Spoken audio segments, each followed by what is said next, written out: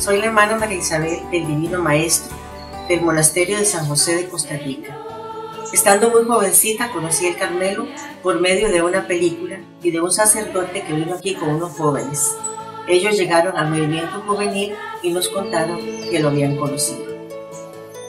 Desde que conocí al Carmelo sentí que era el lugar al que Dios me llamaba por el continuo trato de amistad con Él en la oración, que era un deseo muy profundo que tenía en mi corazón. También la vida de fraternidad fue de mucha alegría para mí, pues vengo de una familia muy numerosa.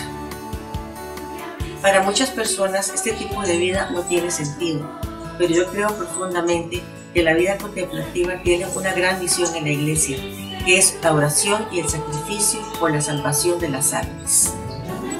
Por eso yo le diría a las jóvenes que se sientan con inquietud, que se sientan llamadas, que respondan con alegría y prontitud al Señor, porque Él es el amigo fiel que nunca falla.